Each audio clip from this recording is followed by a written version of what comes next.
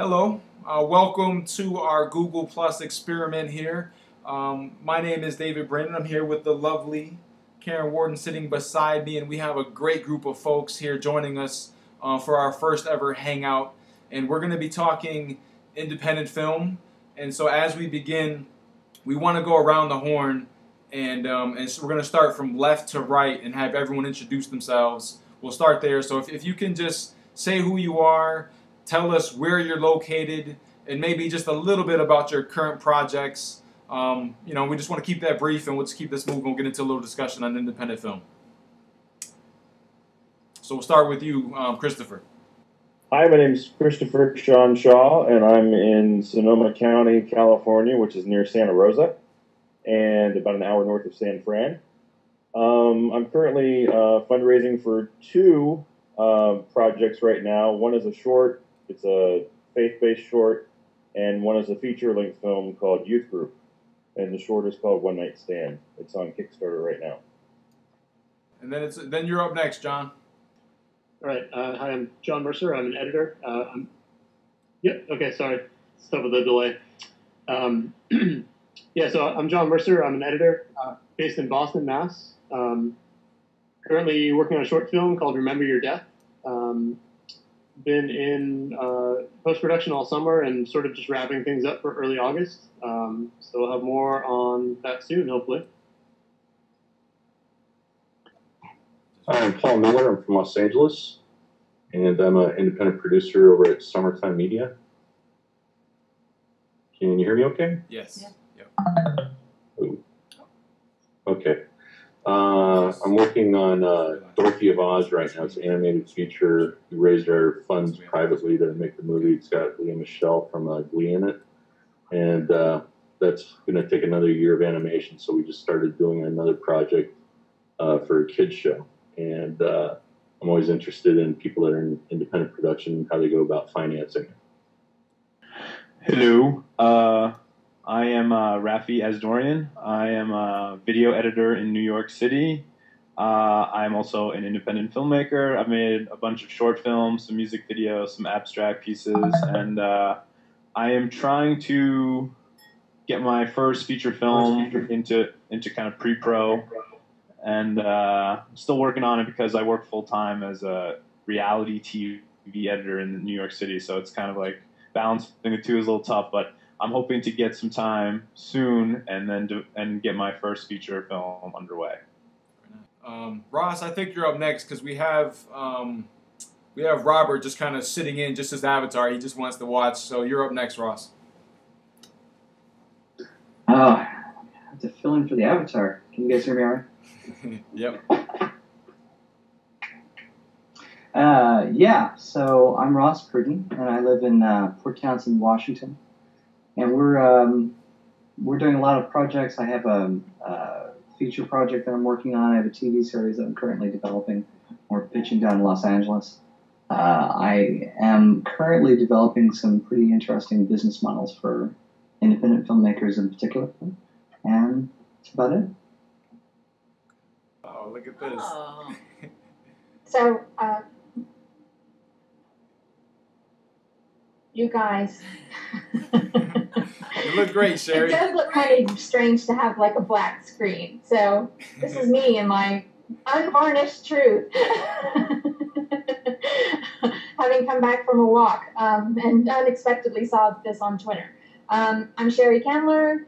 I work with independent filmmakers to figure out how to build audiences and identities for themselves and um, use social media.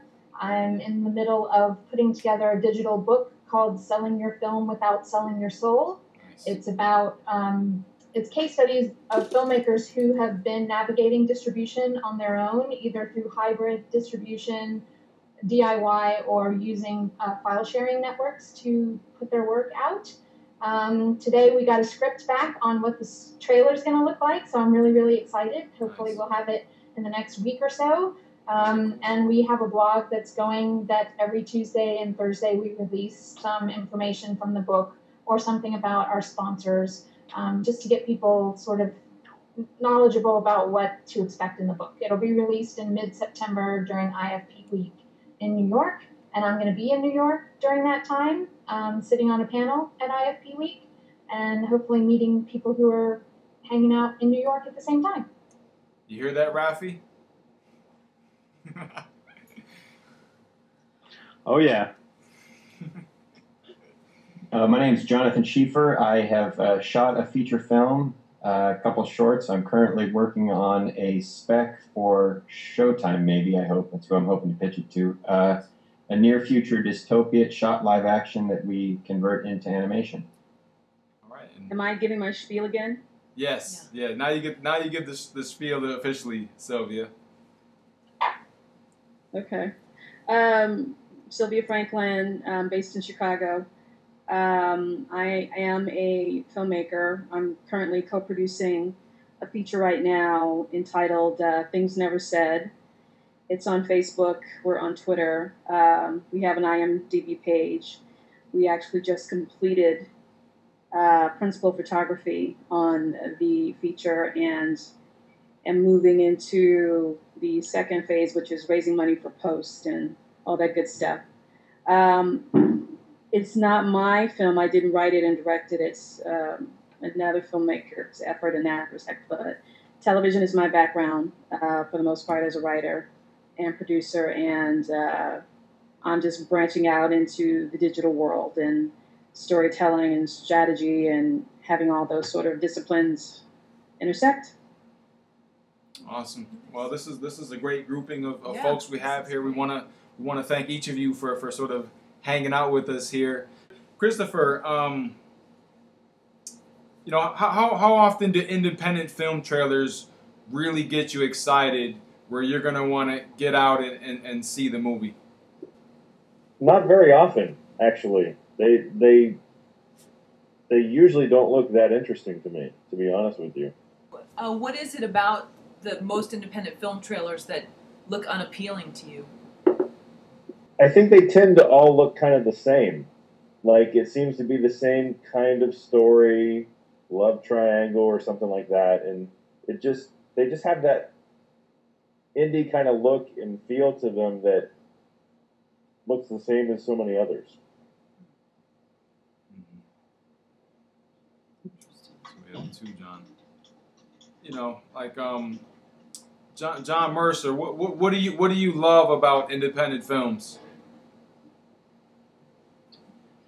Well, uh, that's kind of a big question. I mean, I would say a lot of the times I, I enjoy making them more than I enjoy seeing them, which is sort of unfair.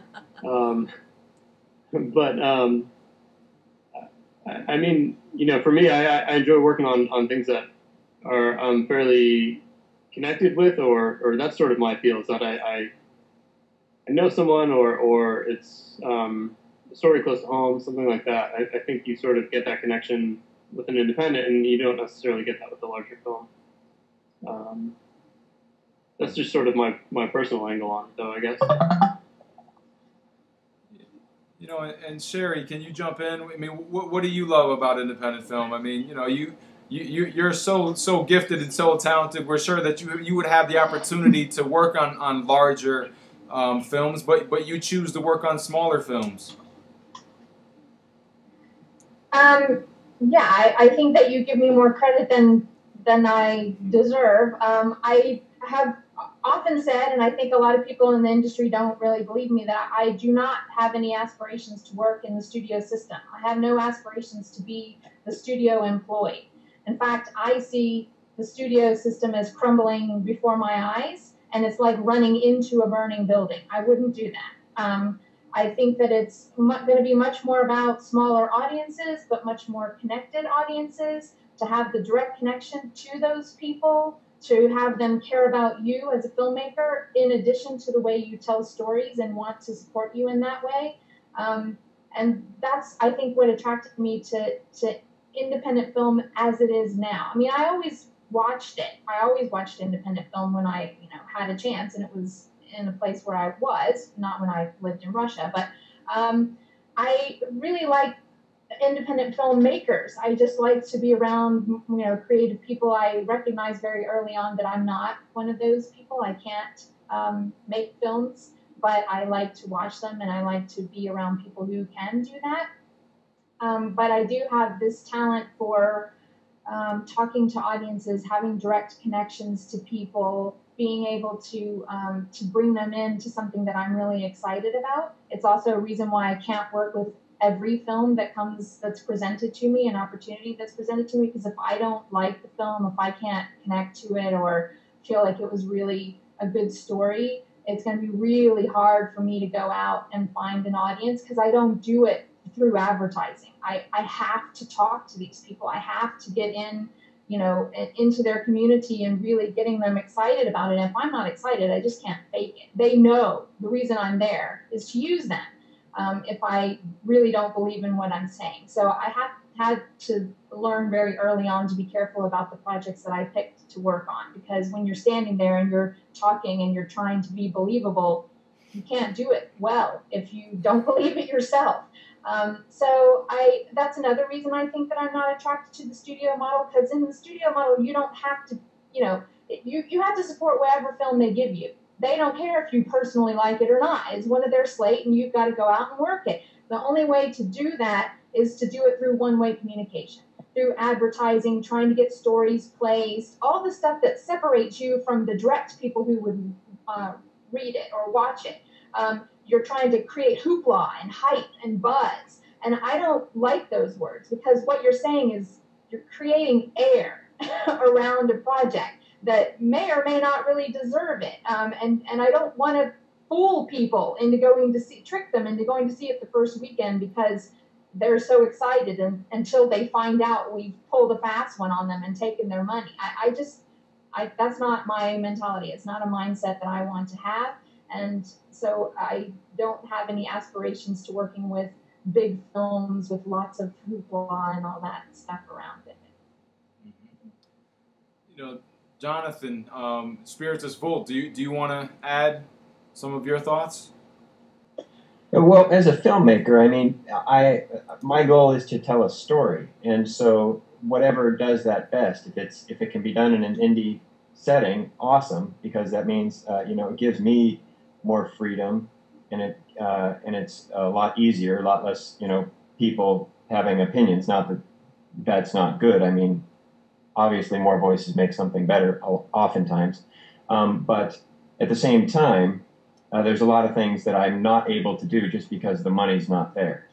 And so I don't, I mean, I don't, I don't really side one way or the other necessarily, although I do completely agree with what Sheri said about being passionate about something. I don't think I could ever take a project that I didn't love just because of how much work it takes to do any of it. Right. And Sylvia, you're, you're sort of reconnecting with us here. Can, can you can you tell us, you know, what why you love independent film? Well, I just think that it gives um, it gives you another platform uh, to tell stories. Uh, you know, we're so fortunate and unfortunate at the same time in that you know mainstream television, even cable, only sort of appeals to a very narrow kind of uh, defined audience. And for people who have tastes outside of that, there really isn't an outlet for the stories that they may want to see. And I just think independent film gives people uh, the option of sort of peeking into those stories, those lives, those characters. And uh, to an earlier question, would I go see a mainstream film or a Hollywood film or independent? It just depends on what the subject matter is. But I, I find myself increasingly as a woman and as a woman of color, there's just nothing out there that really speaks to me and I'm definitely wanting to see more of those kinds of stories. So. Mm-hmm. Yeah, I mean, you know, one thing that, that goes through my head is is, is I often see um, folks that, that say that they're tired of the franchises, they're they're tired of the sequels, you know, you know they're, tired, you know, uh, they're, they're tired on one end, but at the same time, when it comes down to their decision if they're going to support a small independent film or if they're going to see one of these larger films, um, you know, obviously the money talks and obviously they go in that direction. I'm curious if you guys have any commentary on that yourself.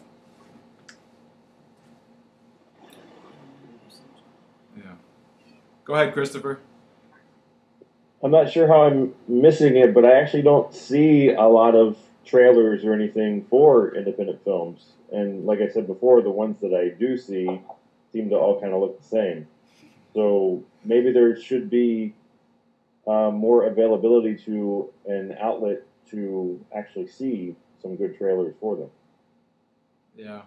Where would you where would you look? Like this is this is a question I would you know be very interested to hear the answer to. Because I know that there there are services that do nothing but propagate trailers all over the place um, for thousands of dollars for indie film distributors. Um, what sites are you looking at online where you don't see the like the trailers don't reach you, or how would I go about reaching you if I was going to place my trailer and I thought it was something you'd be interested in? To be honest, I haven't done a lot of searching online. I'm just saying, in general, in the general public, uh, most of the advertisements we're seeing are the blockbusters or the ones that are more well known and not smaller independent films. Oh, you mean So I- TV? Yeah, like TV or Oh. in the movie theater when you're seeing previews and that kind of thing. Unless you got like the major Oscar-nominated stars or something in it, then it's they're they're just kind of few and far between that you even see them. Right. Millions of dollars are spent on that. That's why you don't see small independent films. In fact, I was shocked the other night when I saw a trailer for Another Earth and it was on television. I was like, man, you know, they, they're really cranking up. Uh, I think it's Fox Searchlight that's got that film. Um, they're really cranking up the money to put ads on television um, to reach to reach audiences for that film because I would have thought it wasn't really warranted. You know, and, and we have a, a new visitor. We have Michael. Uh, Hello. Michael. Michael, you That's want me. to say? Hello. Hey, Michael, wh- where, where are you joining us from? Oh, I'm uh, I'm in Portland. Um, I Very cool. uh, was actually just looking at my Twitter feed and noticed you guys were doing this, uh, and wanted to drop in. I've never done a Google Hangout before, so it's kind of my my virgin uh, virgin ride. Um, but uh, uh, Welcome to the hello, party. everybody. Hello. I'm gonna. I'm not gonna be able to hang on too long. Um, so when I leave, please don't take it the wrong way. Uh, I just I had an appointment, but I, I I'm happy to be here. Are you guys talking about trailers? Yeah, you know, let, us pose the question to you. If you have a choice, if, if you have a, a Hollywood trailer on one side and, and an independent film trailer on the other side, um, you know, wh- which movie are you going to see? You're, ta- you're talking about on a. Um, am, am I am I first exposed to this on the internet or some other way? This trail these trailers. Yeah, I mean, yeah, Yeah. mo- most likely because for the independent film, it's probably gonna, it's probably going to be on online where you come across it. Uh, but let, let's say you have a movie that, that Karen and I loved, a, a, a, a Better Life, which is a, a great independent film. You, you have that trailer in front of you, or you, or you have Harry Potter. Which which one are you going to see? Well, that's easy. It's it's going to be a better life only because uh, um, uh, well, I'm not a big fan of, of the other film uh, Gotcha. franchise, but Yeah. uh, you know, as, as indie, I think I'm predisposed to uh, supporting indie film. I think, I think you know, Joe Sixpack or random random person um, is is obviously going to go with the the thing that they know looks more professional or, or they already know of the franchise or the people or whatever. It's just it's it's just you know that's just the way it works. It's it's harder uh, for you coming you know from the abyss. No one knows any actors in your film. No one knows who you are. No one's heard of this film before. You're nobody unless you have a amazing still or or someone else that that the per unless it's being recommended to you from a friend, then why would they why would they watch the trailer? You know, Mm-hmm. you're talking about watching the trailer or going to the film. You know, getting to that point where you're gonna you're gonna actually yeah go and see the film. Well, I mean, if the trailer's good, then then I would go see the film. You know, if it's a good trailer, it's a good trailer, and and there's an art to doing that too. That's like a whole thing in itself. Um, sorry, I didn't mean to hog up all the airwaves. I, I can ramble sometimes. You, you should stop me when it's uh, when it's time. Uh, we're throwing you into the This fire. That, that's I love good. That's good. You had another. You had a comment, a question? No? Oh, all right. Well, let, let me let me throw this out to you guys. Like right now, if if you had to name five must-see independent films, I- I'm just curious which which one of you guys is the first one that can raise your hand and say, okay, I have five must-see independent films. All right, Jonathan. I have one. Uh, I really enjoyed Charlie Bartlett. Uh, these aren't in any particular order. Uh, there's a great Japanese film called Departures. Uh, Ted Hope's movie American Splendor blew me away. Uh, there's a Polish Brothers film called Northfork.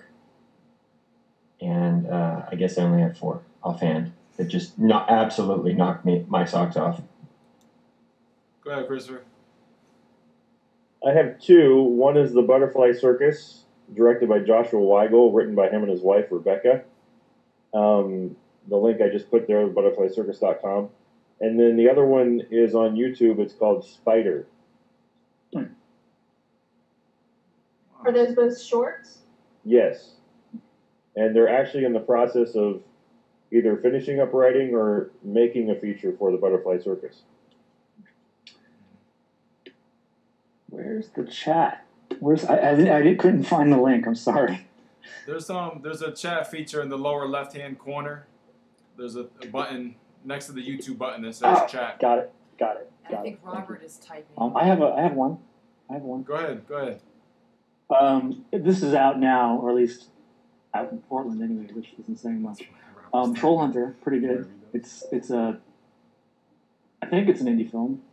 Um, yeah, it's it's it's somewhat indie film. So it's a current one. It's like a it's like a Norwegian film or something like that. Okay. And it looks like Robert is typing, Robert Pilkington, and he's saying number one, rubber, number two, Hesher, number three, remember your death, which is a short, and number four, troll hunter. Yeah. It's like also John Paul Well, I know that like a, a ton of um, Sundance films that were bought during the festival will be coming out in the next couple of months. So you'll probably like Another Earth is one of them. Pariah is another one. Uh, Macy, Marlene, Marcy, whatever it was that Ted uh, helped to produce is, is coming out as well soon. Um, so it takes about this long, nine months from being bought at the Sundance Film Festival to actually coming to a theater near you, but they're all coming out in August, September, October time. Mhm. And, and and Sheri, I mean, uh, is it hard for you to find a good independent film? Um, yeah, where I am right now it is, because I'm in Northwest Florida in a teeny tiny beach town. Um, no, they're not real big into independent film here. I was shocked when The Kids Are All Right actually was playing in the theater for a week or two, because that's not the kind of fare they would normally have. Um, I expect the uh, Sarah Palin film to show any minute um, in the local theater, just because it's a military town and you know they're very Republican here. Um, uh, so no, I, I if the, if an independent film isn't on Netflix or somewhere online where I can watch it, iTunes or um, Amazon or something like that, then I have to wait till it is, unless the filmmaker sends me a DVD. I think going back to the, the whole trailer question, it sort of makes a difference where you see your film. So I think maybe um, the more appropriate question is, given a choice, would you would you film in uh, more of a national chain or in an independent theater? And I think if you're if you're watching the majority of your films in an independent theater, you're more likely to see independent trailers, and that's sort of what's going to make the difference. So, uh, John, welcome. Assuming, assuming the place you live has a decent independent theater, which is not always the case. Do- I mean, uh, John, yeah, I mean, that's, do, do, do that's you, an issue.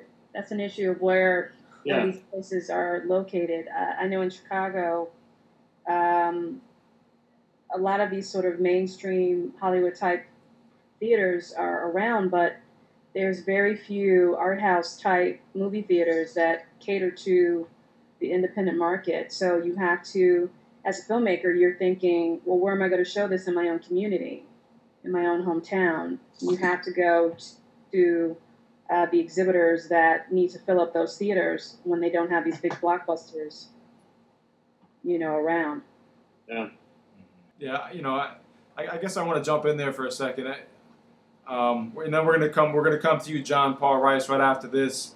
Um, but what's interesting is is is what we're seeing more here in the Los Angeles area, and, and, and, I, and, I, and I believe around the country is, is we're seeing like around the holidays, especially like you know Halloween comes to mind, where a lot of stores will pop up, um, you know, for Halloween only, um, and and they become like these successful stores. Just just you know where, where they take over. Sort of a um, novelty store. Yeah, novelty store. um, Costumes and things. Yeah. you know, but we, we haven't quite seen that all the way at big movie theaters yet, where instead of having the big films for the entire week, where maybe they just shuffle in um, special events, uh, you know, or, or, or one day screenings or, or just one off screenings. Um, but you know, I'm wondering, how, you know, if we're going to get to that point where we see more of that, you know, where we see more mainstream theaters finding a home um, for, for, for, smaller films and giving them a chance. I, think that's an interesting situation, and I, mean, I, I think that's that's thing future possibly, but um, I think that sort of gets back to you know the the concert analogy of you know taking your show on the road and, and trying to reach people like that. Um, and I think you know for some films that that does work. I mean, certainly Kevin Smith, for example, had success with that.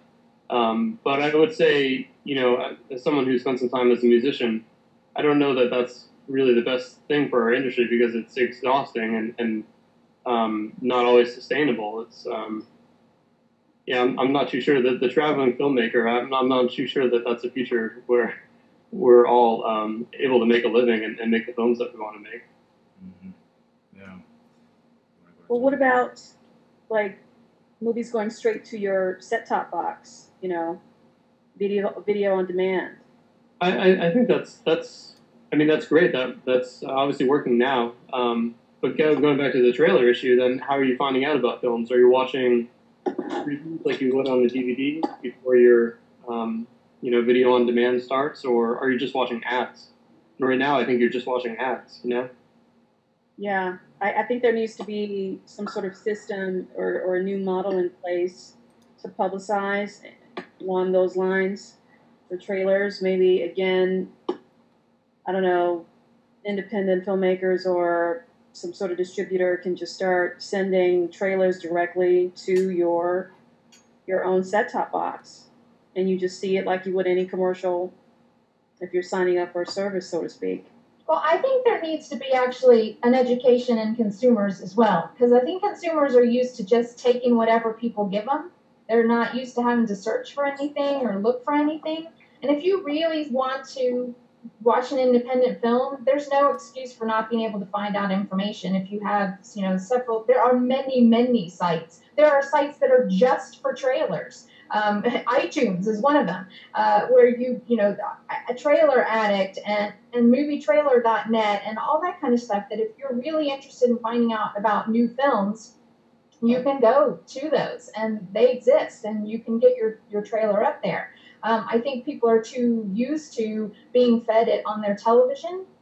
So they go, Well, I don't know anything about the new films because I haven't seen a trailer because it hasn't played on my television.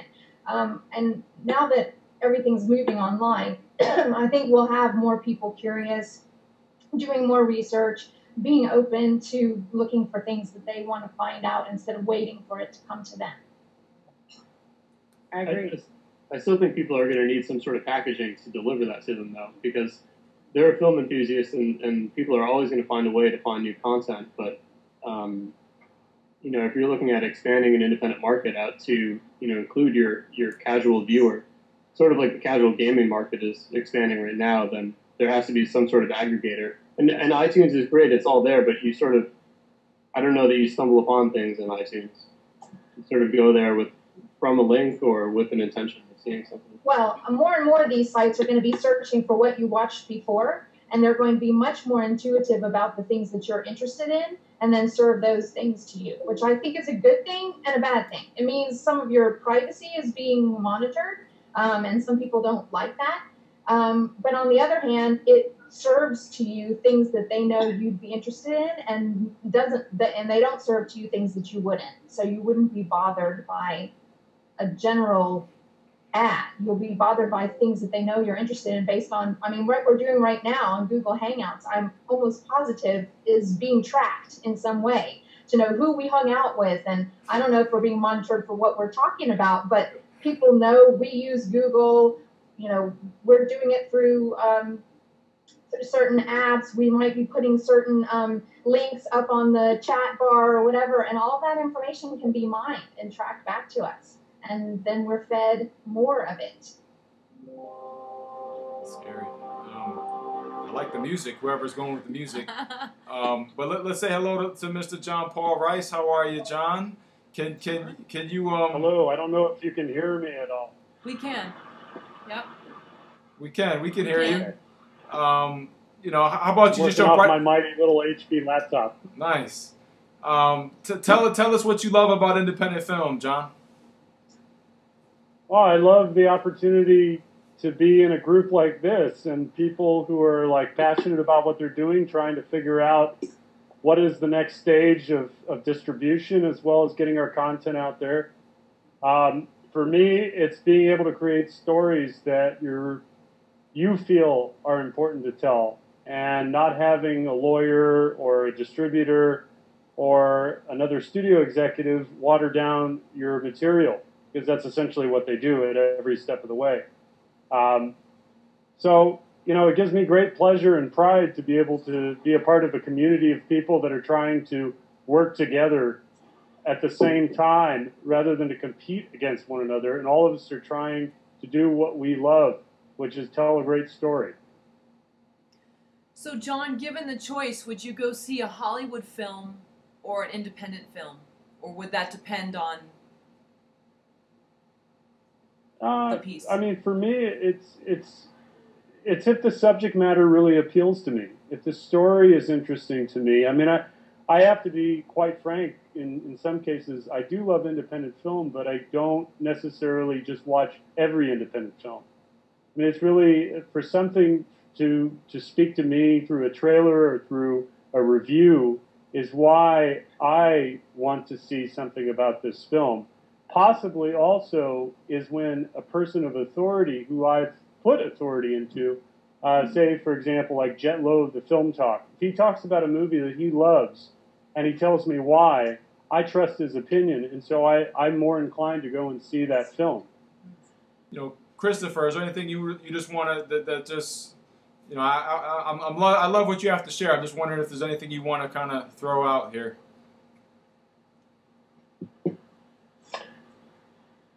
Putting you on specifically, what would, what would the question be specifically? Sorry. You know, I, I don't know if there's a specific um, question, but just anything going through your mind at some of the, the things that everyone's bringing up here.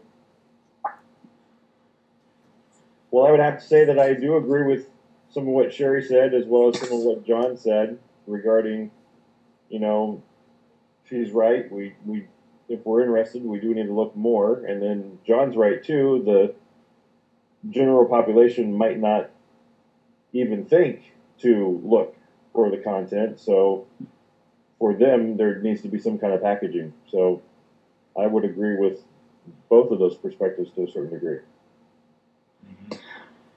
Ahead, um, I had some thoughts uh, chiming in two things. One, um, one thing that uh, a Hollywood film has in its favor is big budget, you know, blockbuster is um, you know, if it's a type of film that everyone's going to watch, or if, if, if, it's like a piece of, you know, film culture of that year, I, I often will watch it. You know, I, I want to see a film that everyone's talking about just to take part in the conversation sometimes. I've definitely gone to see films for that reason, um, both good and bad. But uh, and that's one that's one thing that a blockbuster film has over an indie film because you know more people are going to see it, so so more people are going to see it alone. But one thing that an indie film has in its favor um, that a blockbuster can't do is because of the smaller budget, um, it doesn't have to appeal to a larger audience, and so it can appeal, you know, very very directly to a small audience. Um, and we've we've seen all this before. Be it you know, um, an ice hockey movie. You know, someone who's into ice hockey is going to go see that movie because they're into it.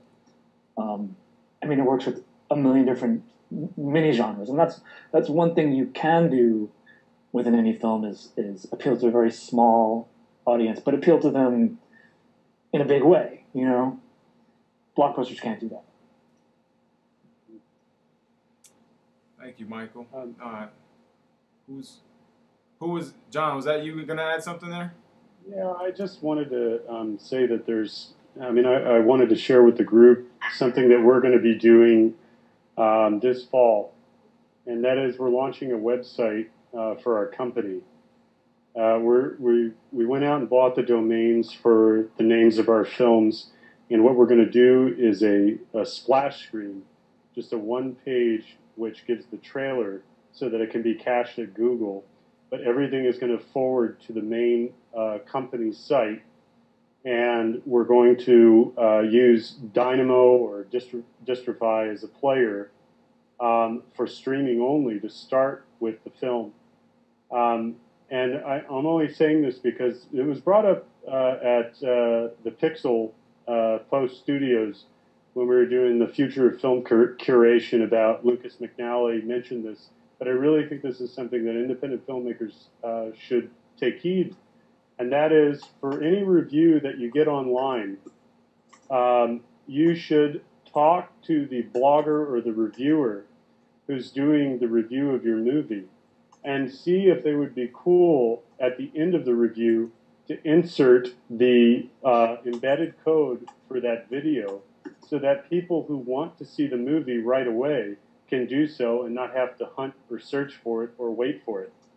Um, I think this is a very easy and simple thing to do, and I've already had a couple of bloggers that I've tested this with in terms of asking them. They think it's a great and fantastic idea, and they're ready to do it.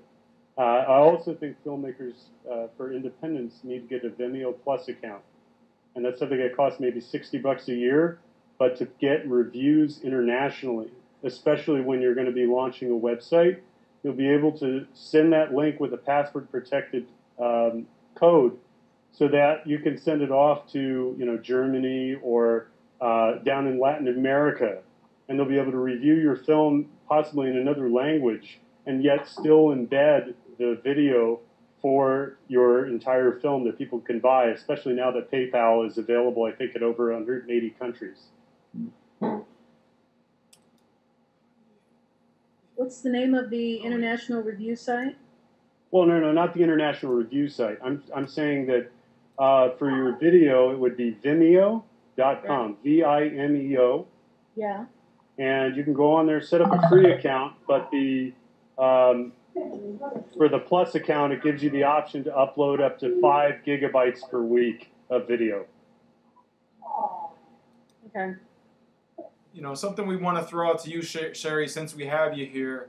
Um, do you feel like a lot of uh, filmmakers that, that work on smaller films, you know, let, us say budgets under two hundred fifty thousand dollars, are, are they spinning their wheels, trying to get their film into theaters, or, or like going the festival route and, and spending however many months um, trying to get their film in theaters? Are, are they spinning their wheels?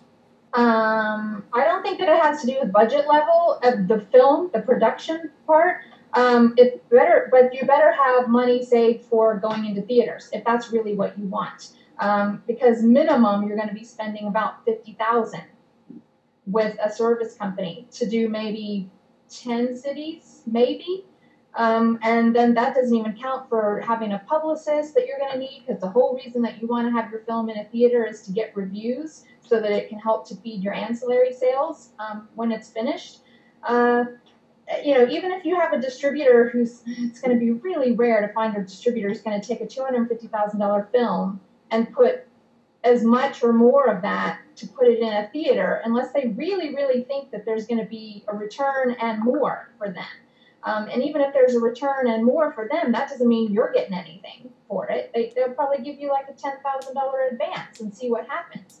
Um, so, you know, it, like John would say, every film is different. Every film has a different plan, that kind of stuff. Um, I I think that the only reason your film should be in a theater is in order to get good reviews. And if it can't get good reviews, and I mean mainstream reviews, then you're wasting your time because then you're going to really you're spending all this money to be in a theater to get bad reviews or get no reviews um, and no one shows up that's not even a good business plan so um, i think if you're doing low budget films you should be looking more at online distribution more at self distribution um, more at, at using film festivals as your theatrical rather than um, than spending the money to put it in a theater yourself and hope for the best. You have a mole, Sheri. What do you mean? Look behind you. Oh. Daughter, who's been, I've told several times, you're going to be on camera. Don't come in here. Very cute. Um, you know, well, you know, I guess that that should be um, bedtime for some of us here. And, and, you know, let's just go down the line. If, if you guys have any final thoughts, and we'll, we'll just wrap this up. And, and, and thank you guys for joining us. Eh. Go ahead, Mike. No, that's just it's the cat. Sorry. Oh, beautiful! Look at this. There you Let go. us see that. Oh, oh It's wow! the hairless kind. Everybody has their children. Yeah. How, how cool is He's, that? a, he's a kitten. So it's, it's for five A minutes. hairless of child.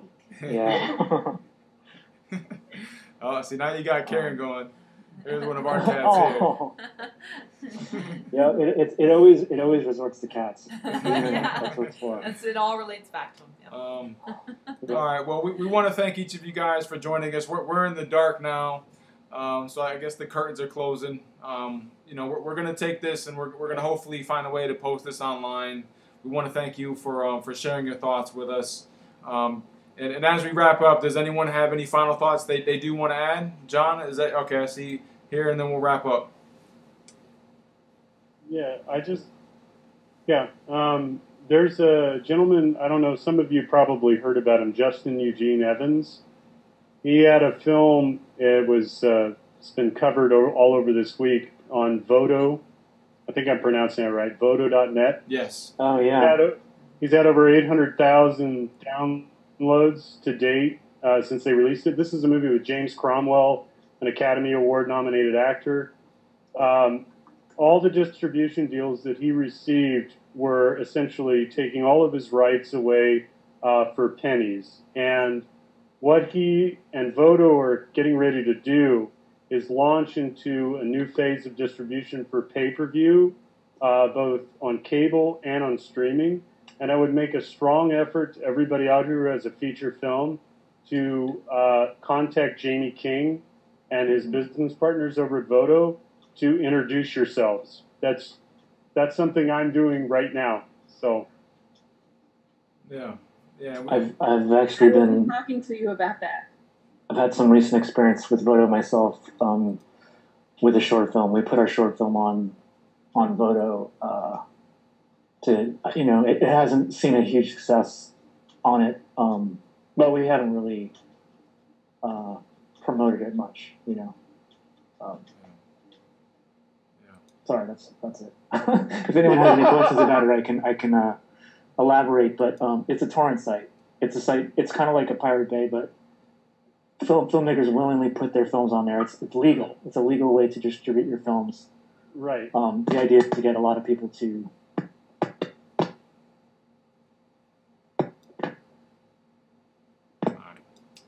Yeah, no, we we, interv- we interviewed Jamie King of Vodo.net. Um, do you know when that was, Karen? That was recently. That was in the last few months, I believe. Beginning, beginning of the year. I don't know. I, I want to say April, May, in that range. So, you know, if, if you're familiar with filmcourage.com, you can go through those archives, and, and it's in the last couple months we did that.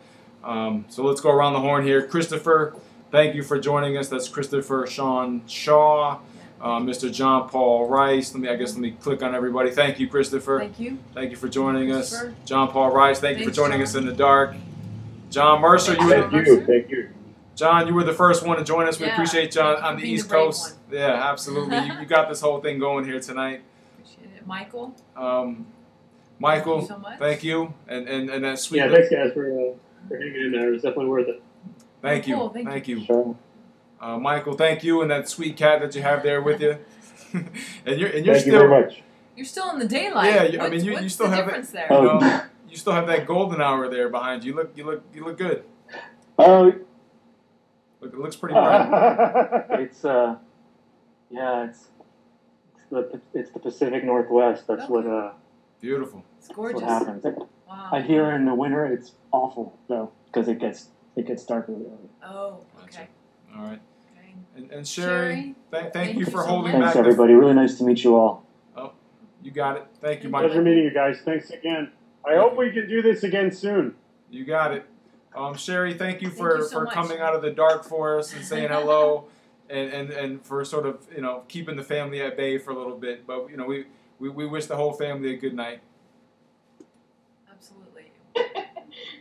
And we'll talk to you in September as well. Yes, it's time for bed. It's uh, after 10 o'clock here, so. Oh, okay. Okay. Yeah. Yes, you will. Yeah. Excited. Okay. And Sylvia, our Sylvia, you have a good night. You.